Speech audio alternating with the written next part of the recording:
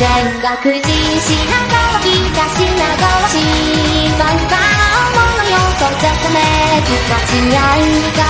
の理解が平和に守り町夢好き京急がまた組織六五道で京急川先波長縄で鶴見市場京急鶴見かけすそしじなまむき京急新小屋すこやす神奈川新町京急で東神奈川横浜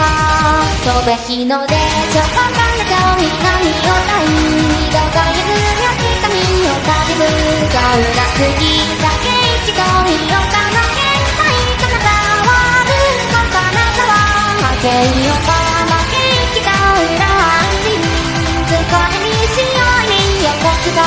you are